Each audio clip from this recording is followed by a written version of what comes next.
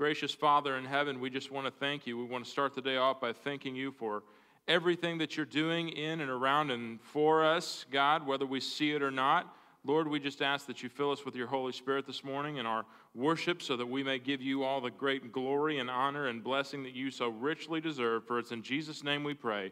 Amen.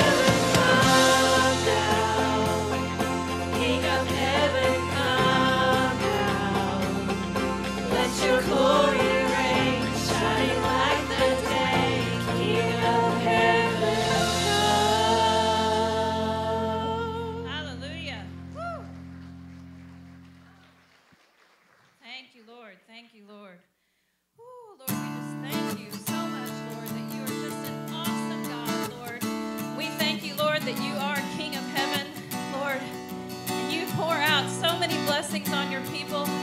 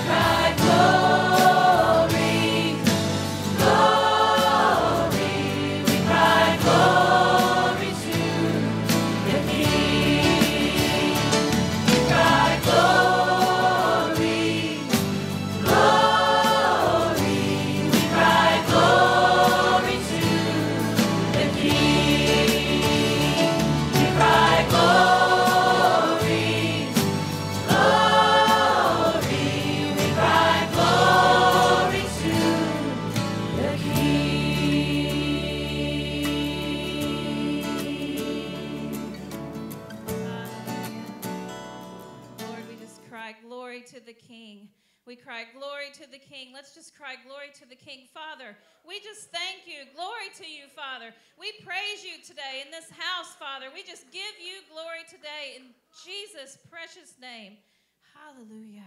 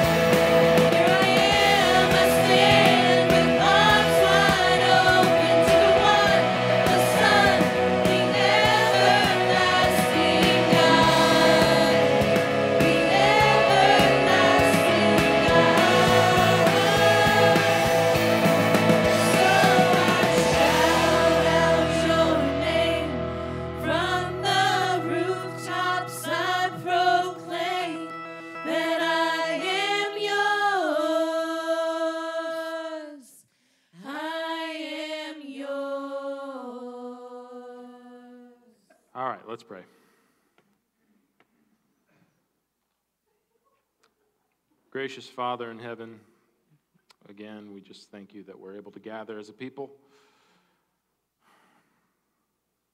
for the rain, for the answered prayers, for, the, for life.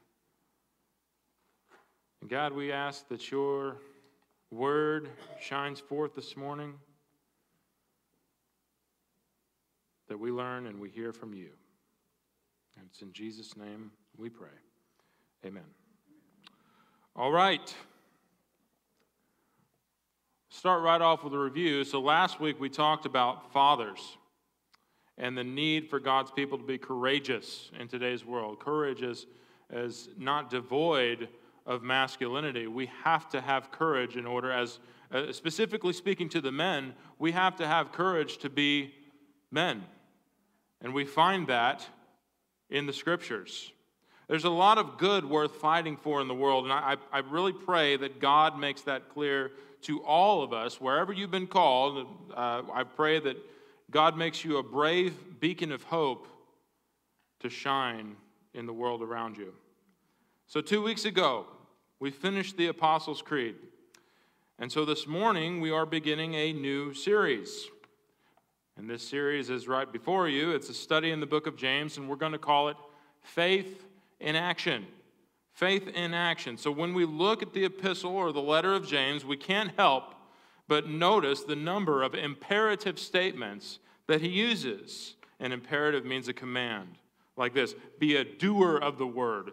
Draw near to God, and he will draw near to you. Humble yourselves before the Lord, and he will exalt you. Be patient, be firm, because the Lord's coming is near. And on and on, we see that, that kind of commanding tone, that imperative tone throughout the book of James. And I tell you, that tone is a good thing. That tone is a good thing. When I first came to the Lord, this was one of my favorite books of the Bible because the wisdom is extremely practical. The, the issue with James is not that you don't understand, the issue is that it's difficult to put into practice. Amen? So this is a kind of a letter written like a sermon or even, even a series of sermons. It, it speaks a lot to how we should live where God has called us. And so I would say, put it this way if the book of Proverbs were written like a New Testament letter, we would probably end up with something like the book of James. So if you turn in your Bible to James chapter 1, I'm going to be looking at the first four verses this morning, and our message is entitled, as you saw, Trials are necessary. Trials are necessary. Times of testing are not optional. And I'll say they're probably not always enjoyable. But this stands in stark contrast to that idea. They are a vital part of the Christian life. Trials are needed for our growth in the things of the Lord. So let's go ahead and let's read James 1 through 4 together. James, a servant of God and of the Lord Jesus Christ, to the 12 tribes in the dispersion, greetings. Count it all joy, my brothers, when you meet trials of various kinds, for you know that the testing of your faith produces steadfastness. And let steadfastness have its full effect, that you may be perfect and complete, lacking in nothing. Amen. It's the word of the Lord. This is a great passage of Scripture. Some of you have it memorized, no doubt. And looking at verse 1, we see James calling himself a servant of God. A servant. Church history records James as James the Just. It's kind of a cool name. I want to be Hank the Humble. But I realize in saying that, that I'm not. The thing with James the Just is he says, it, uh, the church history, Eusebius uh, Josephus records that he prayed to the point where his knees were calloused. Some tough knees. Now, there's more than one James in the Bible, as you know. Most scholars believe this to be the half brother of Jesus. So imagine, think about that for a second. Imagine growing up being the brother of Jesus. I have a feeling Jesus would have been easy to get along with himself since he never sinned, Jesus never had any problems with anybody. But no doubt it would have been difficult to hear your brother saying, as he grew up, saying he was God. Apparently, Jesus' brothers didn't always believe in him because in John 7 5, the Bible says, For even his brothers didn't believe in him. Didn't come out of the gate believing. And James was among those who didn't always believe in Jesus. But it didn't stay that way. So later in life, and we have it recorded right in front of us here in the Bible, he calls himself a servant of the Lord Jesus Christ. Jesus' half brother went from being a skeptic to a servant. He went from viewing him as just another one of his brothers, whom he loved. I'm running out of jokes with the microphone, so just get used to it. Just been, pretend that I said something really important when it does that, even if it does it like multiple times. He went from viewing him as just another one of his brothers to his only Lord. And so I want you to take that as an encouragement. I want you to take that as an encouragement. God can turn any skeptic into a servant. Any skeptic. Some of your translations might have bondservant or even stronger tones like slave, and that's fine. Those, those words all mean the same thing. Any son or daughter of the Most High should consider it a blessing to be called God's servant. There's no higher calling. Serving the kingdom is a privilege, and servants of God are sons and daughters of God. So, what a grace it is, as we often mention, it's a grace to call Jesus Lord. Amen. So, notice that James doesn't address this letter to a specific church. He doesn't have to, because he's writing to the 12 tribes in the dispersion, or you might have diaspora. Some of your Bibles have it translated uh, for you, and it says it simply means the people of God scattered among the nations, dispersed among the nations. While the focus of the letter was probably a predominantly Jewish audience, James is writing to the spiritual Israel, the Israel of God, Paul says, and those of us who have been born again from the heart to a new hope. Most letters in the New Testament start with a longer greeting, but this is not the case with James. A guy with calloused knees doesn't waste any time. He jumps right into exhortation in verse 2. So let's go ahead and jump in as well. He says, Count it all joy, my brothers, when you meet trials of various kinds. So that brings us to the first point. Trials are inevitable, but they can always be experienced with joy. Amen? Inevitable. That means they're going to happen, it's not avoidable. Do we believe this, though?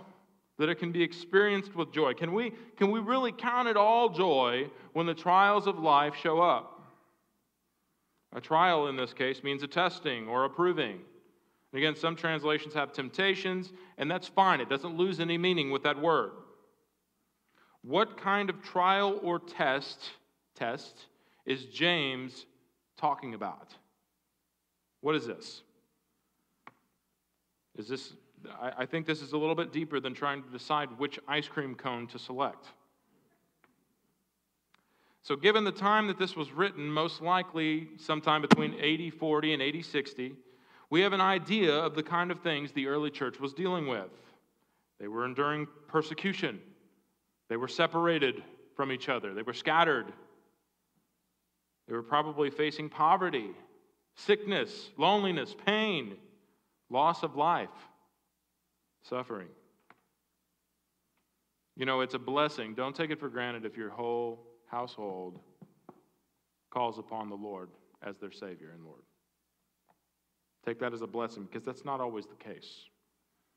And so I think that might have been going on here. There was probably division from loved ones over issues of belief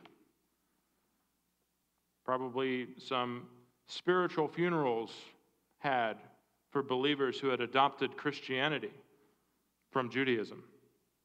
So, no doubt, this is a time of immense physical and mental, emotional pain. So, what about you? Have you, have you been going through a difficult time and thought, you know, why are all these bad things happening to me? Right? Have you been there? Why all the pain? Have you felt like the prophet Jeremiah? Maybe it's a little more noble. Why does the way of the wicked prosper? Why do all the treacherous uh, thrive? Why all the suffering?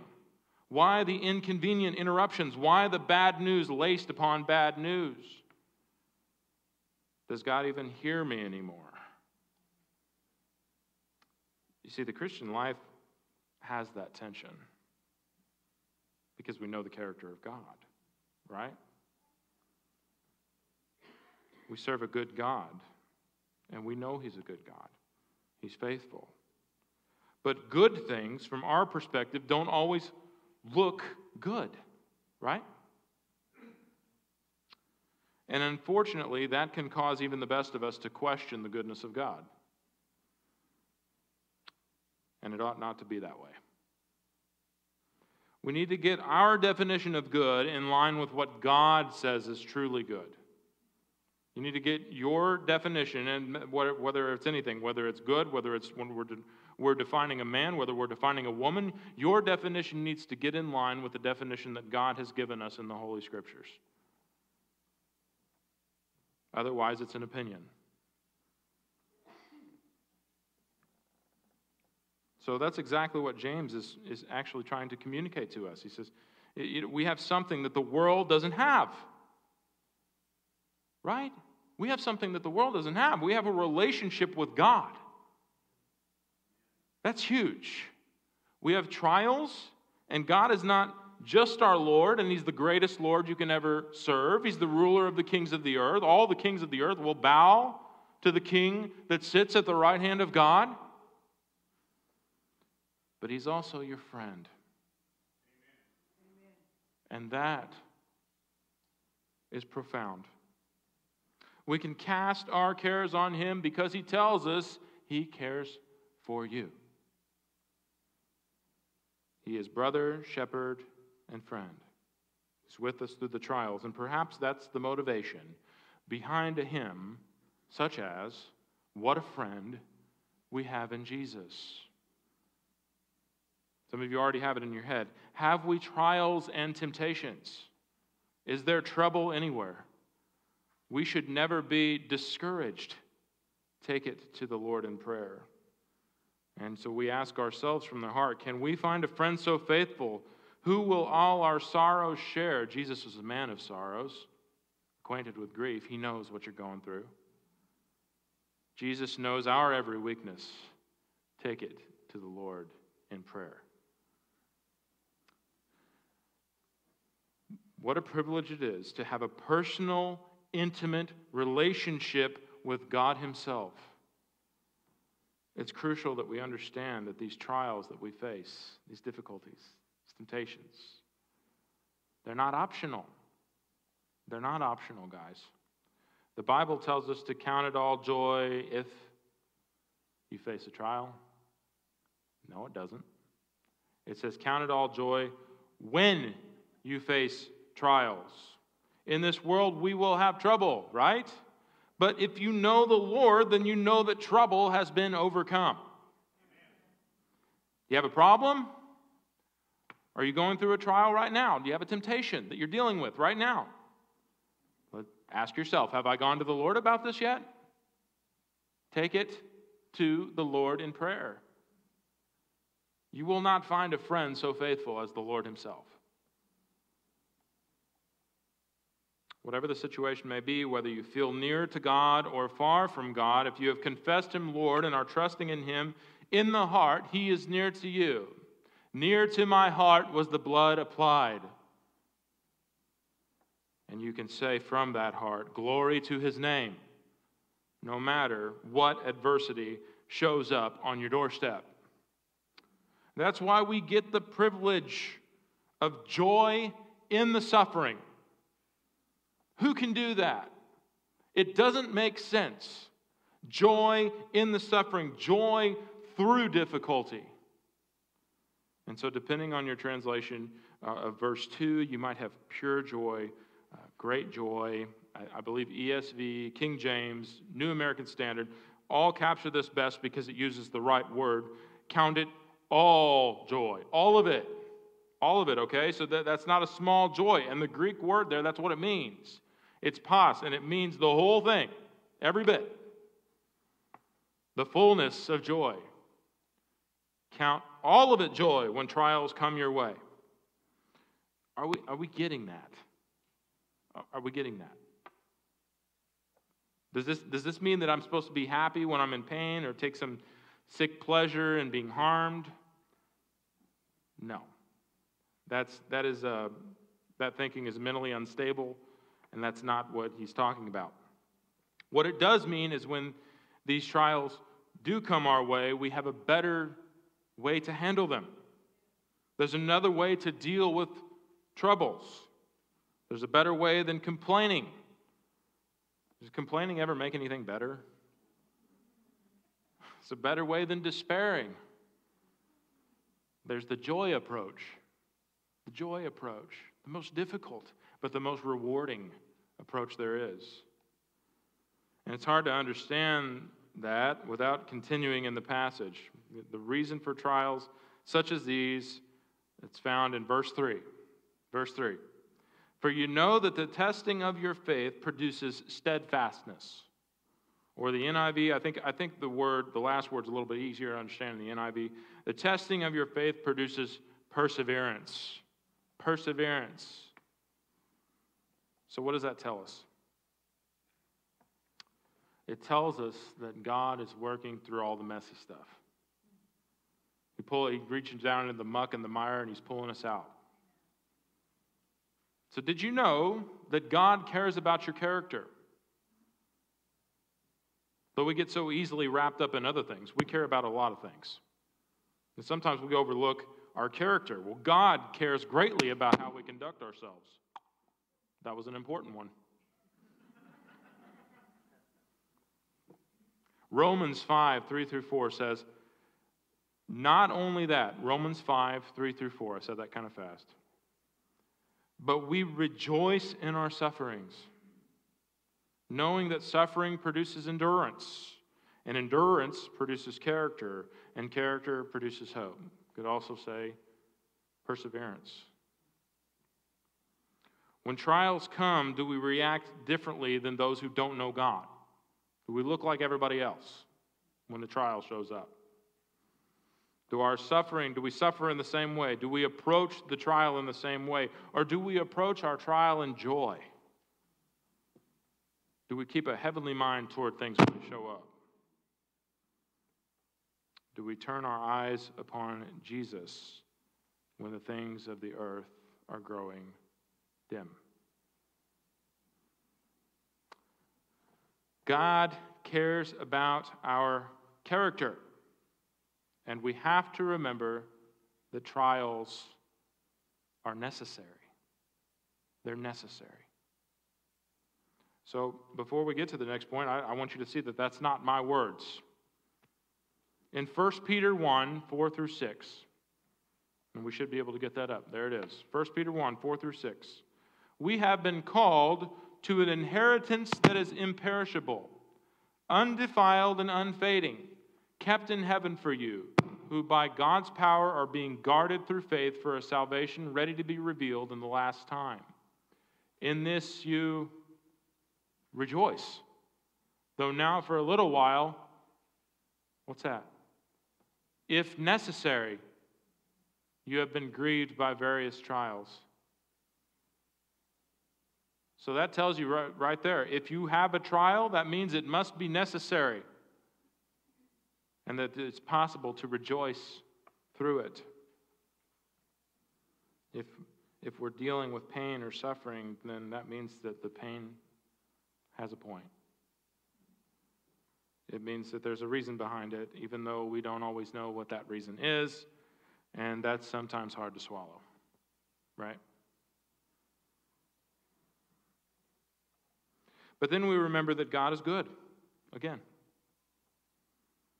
He has been kind, and He was willing to suffer for us. Jesus went through trials and temptations. Joy is the serious business of heaven, C.S. Lewis said. And so we need to fix our eyes firmly upon the divine mission.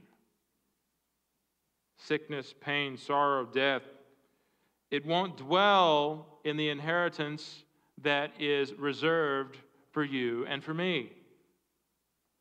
It's undefiled, it's unfading, it's kept, uh, it's kept for us. He's keeping it. And it will be revealed at just the right time because that's how God works. God shows up at exactly the right time. He's never late, He's never early. If you start to doubt, look at Jesus. If you start to doubt, man, I've got it really bad, I want you to look at the life of Jesus. God endured wrath he didn't deserve. And so we can look to Christ who, for the joy that was set before him, that's what it was, it was the joy set before him, bringing many sons and daughters to glory. He endured the cross, he persevered in the suffering. And that brings us to the second point. Enduring trials will cause our faith to grow, which leads to maturity. Maturity. The testing of your faith puts it into action, right? Suffering is like a training ground for faithfulness. Pliable people flee when pain takes over for pleasure. I'll say that again. Pliable people flee when pain takes over for pleasure. It's a lot of P's, but I think you get the point. To be pliable means to be flexible. It means when the going gets tough, the tough don't the, the tough stay, the pliable don't. Do you fold when the going gets tough? And do you remember that there are things that are more valuable than pleasure and comfort? Suffering can either strengthen our faith in God or it will strengthen our doubt in Him. Trials put faith to the test. And so, for those in academics or any of us who have been in academics, why do we take tests? If you're a teacher, why do you give a test? What are you trying to what are you checking? You're trying to make sure that they understand the material that they were taught. And when we receive a trial, it's a test. Can you take it? Are you getting it? You don't, it's going to be hard to know if you're patient if you've never been put in a situation where you might be tempted to be impatient. How would you know? Can we persevere when things get tough?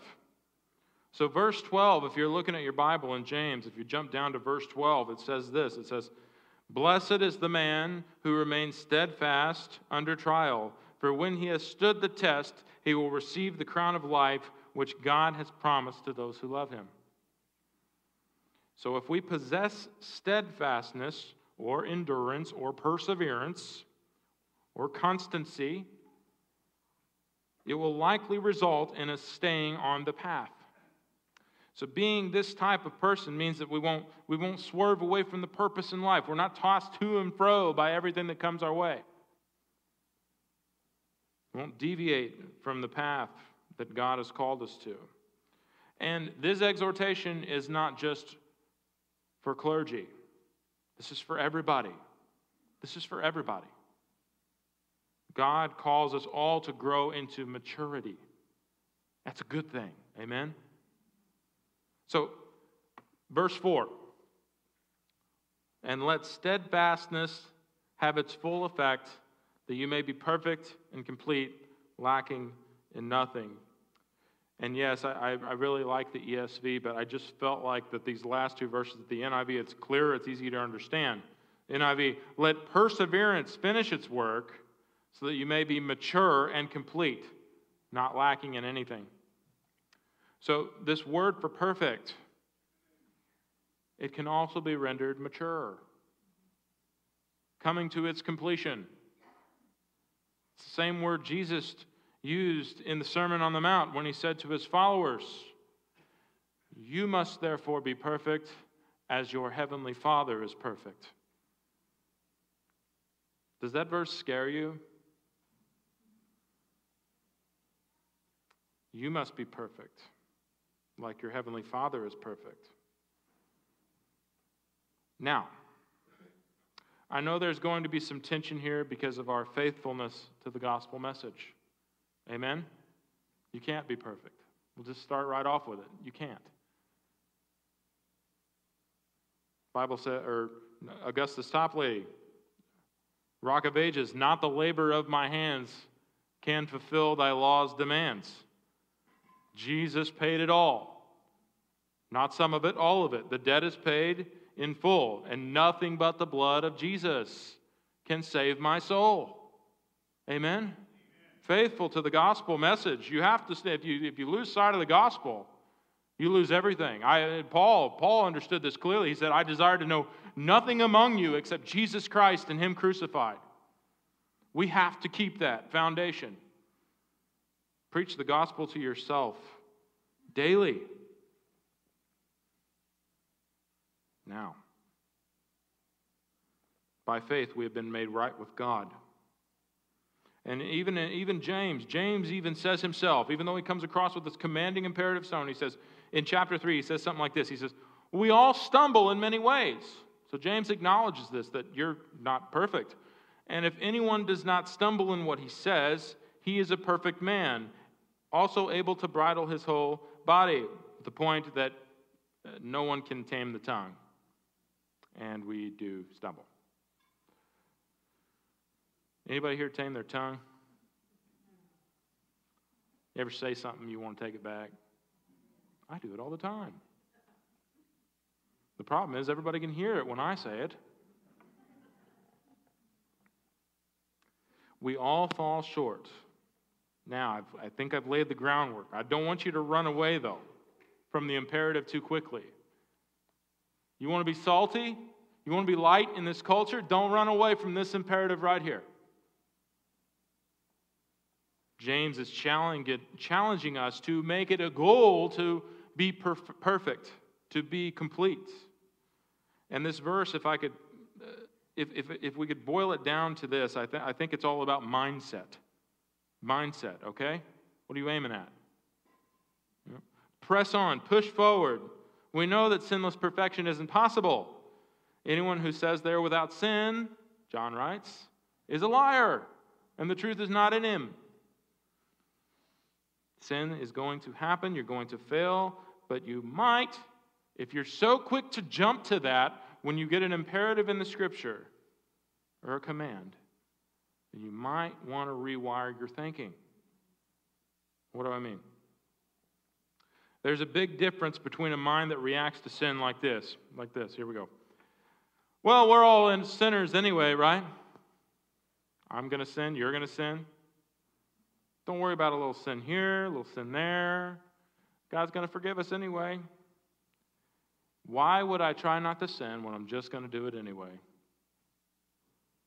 Let's, let, let's sin so that grace may abound. That kind of mentality gives up before the fight even starts. What if we thought like this instead? I want to do the best I can for the Lord.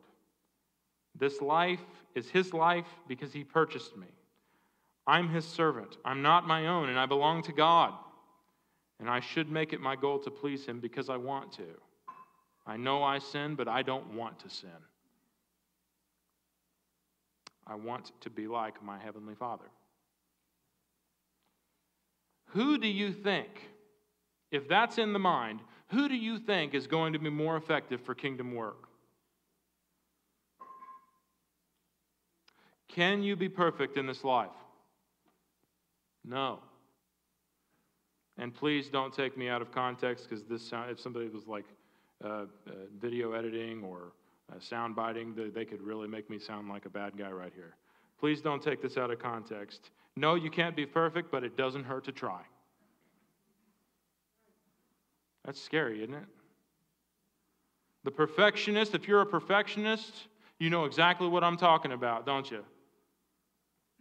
There's no sense in doing something if you're not going to do it right. Does that appeal to you? We ought to shoot for the moon. Because if we do, we'll land among the stars. But I want to be better than the stars. Be careful, be careful. Now, some of you, you might have, you might have like an inner critic going off right now thinking about all the ways that you can do better. That's where your mind goes. Well, well, how, well, okay, I'm messing up here, I'm messing up there. Perfect doesn't exist, but hey, I won't know what perfect is unless I try to shoot for perfect. And part of that, guys, that's not a bad thing. It's bad if it's a performance. If it's trying to earn your way to God, then it's bad. Strive, press on, be steadfast, immovable, endure trials, persevere in what God has called you to do, and all the while, you got to stay rooted in that gospel. Christ died for me, and so I want to live for him. I cannot add to what he's done, but he is worthy of all I can give. I want to put my faith into action. I want to show myself his workmanship, always remembering that grace, grace requires nothing of me. It's grace that's brought me safe thus far, not any of the labor of my hands, and it's grace that's leading me home.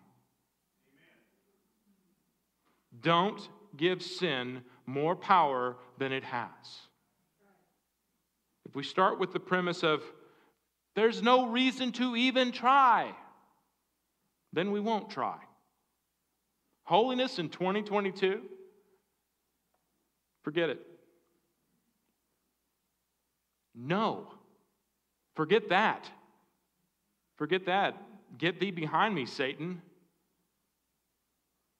That's a defeatist thinking. Are we a defeatist people? Who wins in the end? Well, yeah, we do, but because of him. We don't get any of the credit. The king is alive. Jesus is alive. Every other king I know, he died, he didn't come back to life. Your king defeated the grave. The grace to live courageously for the kingdom is available. The Holy Spirit is with us wherever we go. Wherever we go.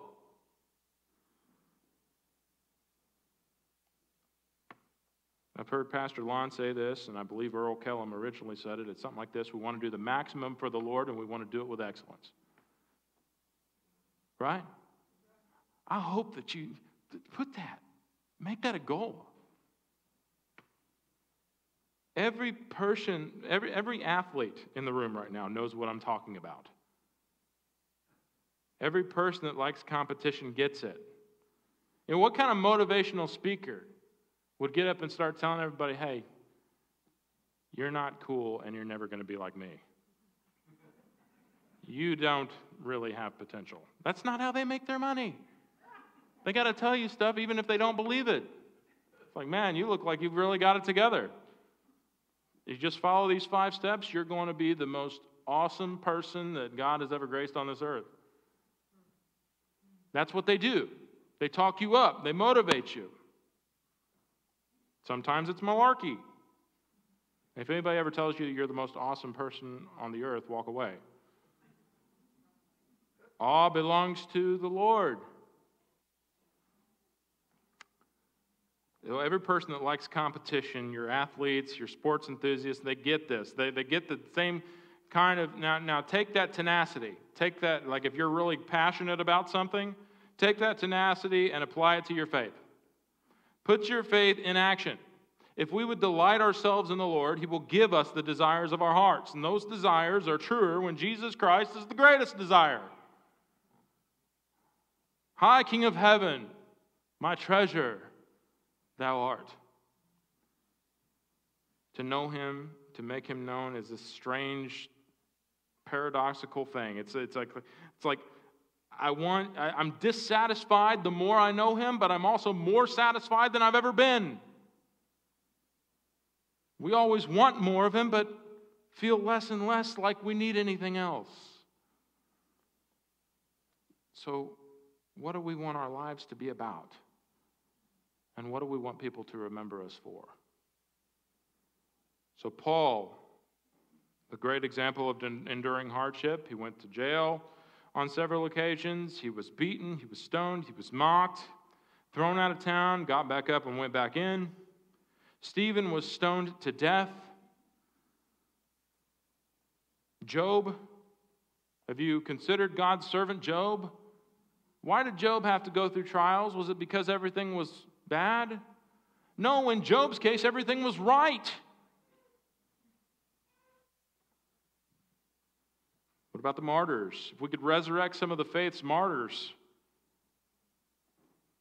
I think they'd be glad to go and do it again.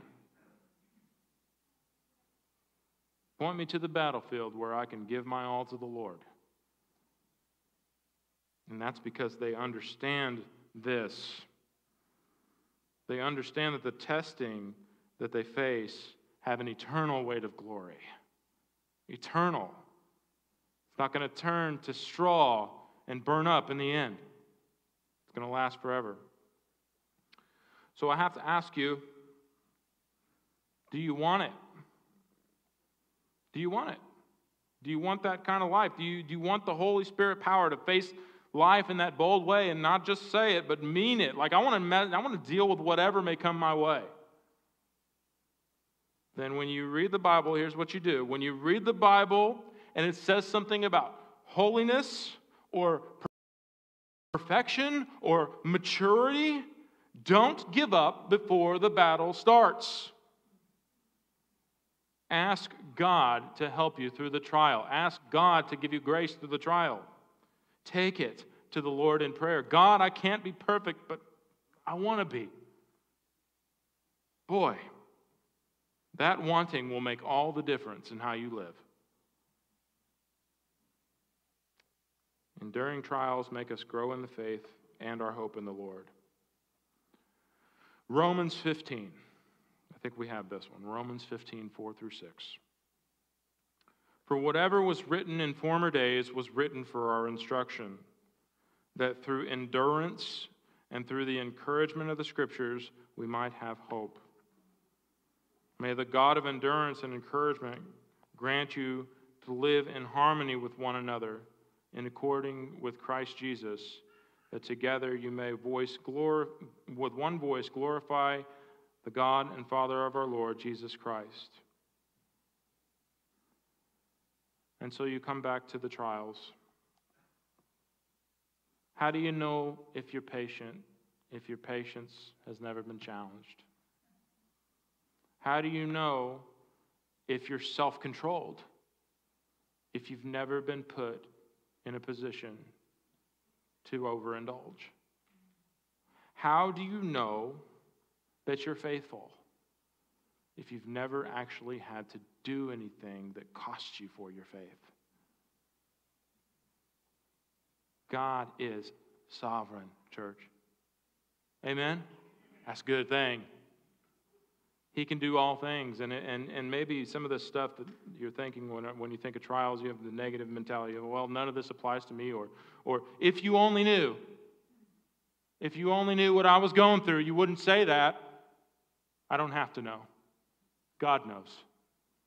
And He does know. And He cares. And He's working. So I want you to take your cares to Him. And I want you to trust. Why, faith?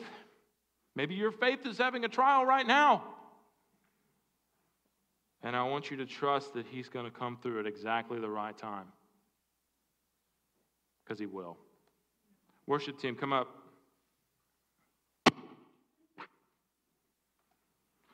Trials are necessary because we have them. The proof is in the pudding, again. We also know that we can experience joy through them.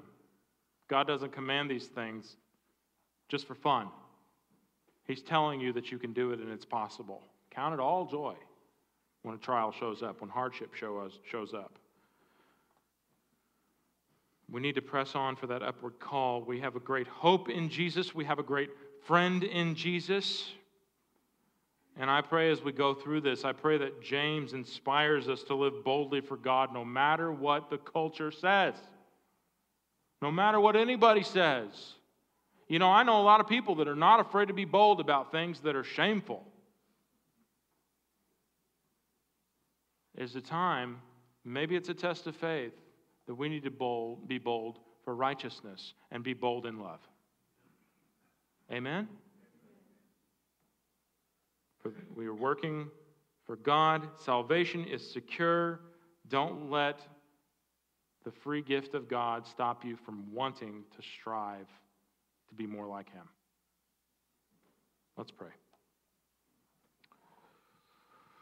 Lord God, thank you for these great truths that we have something, that we have something so near and dear. We have a great friend in the King of the world.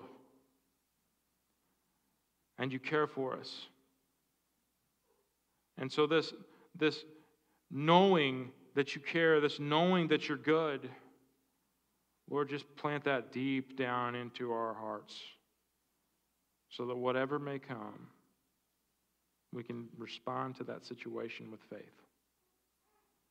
We can respond with faith that looks like incomprehensible joy. Because God, you are working all things together for us, for our good, and for your glory. And it's in Jesus' name we pray. Amen.